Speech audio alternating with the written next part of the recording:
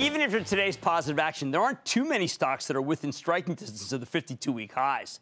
But H&R Block, the nation's number one tax preparation firm, is one of them uh, with its stock roaring two and a half bucks or seven percent after the company reported a terrific quarter last night. Not only did H&R Block deliver smaller than expected earnings loss, remember this company makes almost all of its money during tax season. Makes sense, right? Along with uh, that uh, higher than anticipated sales, but it finally completed a hugely important transaction that investors have been waiting for for ages. Ever since the financial crisis, the problem with H&R Block has been that it owns a bank, fairly small division that provides financial services to their tax preparation clients. That division makes the company subject to regulation regulations limiting how much capital can return to you, the shareholder, via dividends and buybacks. Last night, though, we learned that H&R Block has finally completed the sale of its uh, of its banking business to BOFI, uh, which is also a hot stock, by the way. A month admitted, a month ahead of its admittedly delayed schedule. There was nothing they could do. Remember, it wasn't up to H&R Block. And now that the bank is gone, the company can start buying back stock hand over fist. Hence, this four-year, $3.5 billion repurchase plan that management announced on last night's conference call. Then today, we learned that H&R Block is buying back 1.5 billion worth of stock. That's equal to roughly 15% of the market cap through what's known as a Dutch auction style tender, where they'll be buying shares for somewhere between $32.25 and $37, depending on how many people want to sell. I don't know if you should. Even at today's rally and the, and the, uh, the stock's return's been 11% since we spoke to the CEO back in early June. I think the new H&R block has a lot more room to run, courtesy of the monumental multi-year buyback plan, but also because of a change in the earnings profile. Don't take it from me. Let's check in with Bill Cobb, the president and CEO of H&R Block, to learn more about the bank divestiture, the buyback, and what the company's prospects are. Mr. Cobb, welcome back to Mad Money.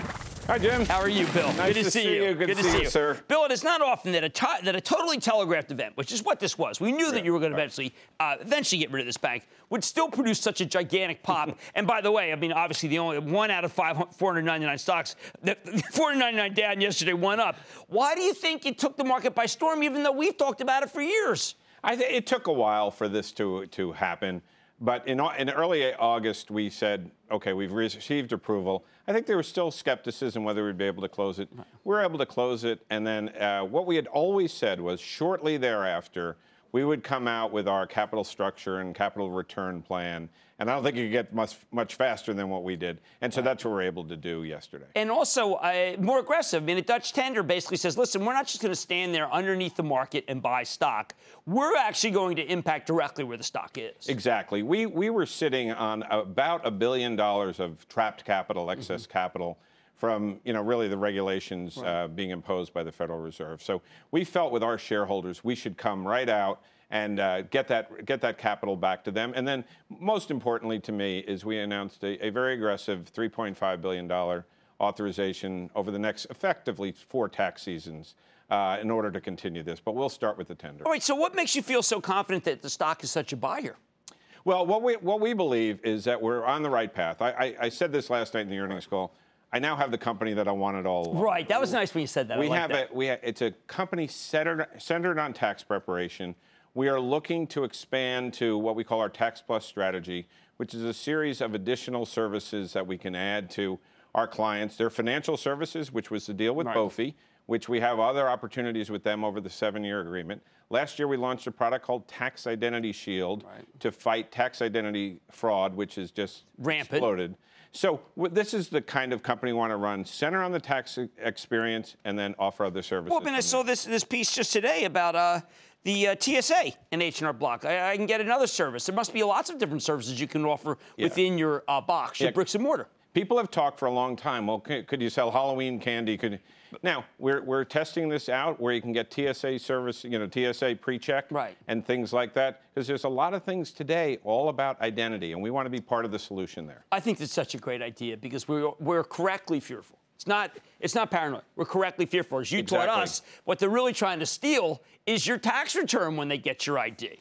What, what, the fraudsters finally realized is every year the Treasury is doling out $300 billion worth of refunds. Right. That's a lot of money. So they realized that they could start to go not only against federal returns, but state returns. Right. So this whole infrastructure for organized crime and, frankly, organized countries is really designed to steal your tax return. Oh, well, there's a presidential candidate that we're all familiar with, Donald Trump, who may not be as concerned about getting the refund. He seems to be using H&R Block as a bit of a punching bag, so to speak. Let me play a clip.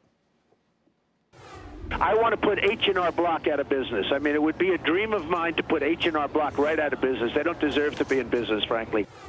All right, so what happens if an H&R Block goes out of business? If the uh, taxpayers save a lot of money? Well, that's that's the issue here. I mean, last year our, we uh, were able to return about 50 billion dollars worth of refunds to our clients. Over 85% of our clients come to us to really maximize their their refund. You know, Jim, I, I often say this is like their bonus for the for people who are making thirty, forty thousand dollars a year, and that's kind of the sweet spot for us. Mm-hmm. We can do anybody's tax returns. But that's the sweet spot. We're there to help. I mean, we are there to help them navigate the code. I realize there's talk about the complexity of the code. I think no one knows it better than we do. We have ideas that we could help on, on how do we help to simplify this. But in the end, that's part of the issue here is it's about credits, education credits and the like. It's not as simple as just uh, only about the tax code. And, and if, uh, if H&R Block were wiped out, a lot of people work at H&R Block. Yeah, we have about 100,000 people, uh, which is what, you know, we take this seriously. But again, what we're doing right now is I've got the company focused on, we're starting to gear up training. You know, the ACA is going to kick in again next year Right. with higher Affordable Care. penalties, more people, the Affordable Care Act.